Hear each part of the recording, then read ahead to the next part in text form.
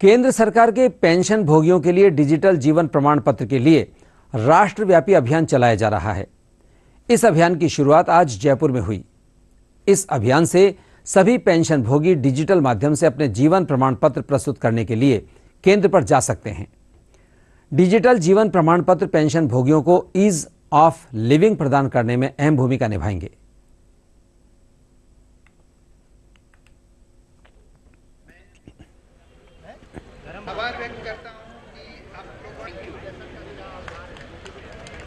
इसकी खूबी यही है कि कोई भी पेंशनर्स अपने घर पे आसानी से वो जीवन प्रमाण पत्र जमा कर सकते हैं। और एक मोबाइल से कितना हो पेंशनर्स का जीवन प्रमाण पत्र जमा कर सकते हैं। इसमें दो ऐप है।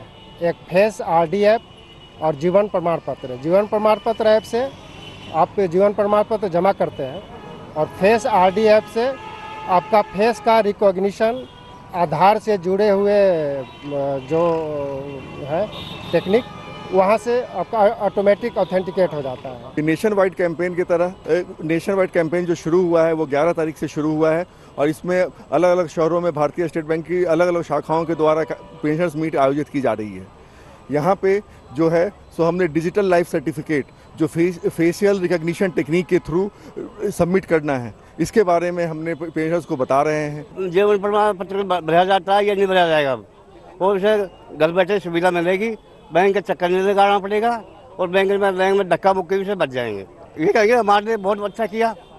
जो हमारे जो भाग दौड़ से बचा दिए हमारे को। पहले जाके बैंक में जमा कराना पड़ता था जिसमें भीड़ भी रहती थी। पर अब जब से ये डिजिटल में गवर्नमेंट ऑफ़ इंडिया ने नया शुरू किया और स्टेट बैंक ने भी बहुत अच्छी तरह से इसमें पार्टिसिपेट कर रही है, बहुत सहयोग दे रही है हम लोगों को। ये हमारे डिसेबल्ड पेंशन एजिड पेंशन जो घर से बाहर नहीं निकल सकते, उनको जो सुविधा दी है, वो बहुत ही सराहनीय है। और हम सेंट्रल गवर्नमेंट पेंशन एसोसिएशन की तरफ़ से, जो हर महीने ए ऑफ़िस के कार्यालय के अंदर मीटिंग करते हैं, उसके अंदर में इसका प्रचार और प्रसार करने की कोशिश करेंगे। और ख़ास करके जो लोग इसका ऐप डाउन नहीं कर सकते। उनको ऐप को डाउन करने के लिए भी एक वर्कशॉप या ट्रेनिंग करवाने की कोशिश करेंगे। पेंशनर्स को जो लाइफ सर्टिफिकेट दैट इज़ वो जो कि जीवन प्रमाण पत्र आप कह सकते हैं वो साल में एक बार देना पड़ता है अपने पेंशन को निरंतर जारी रखने के लिए।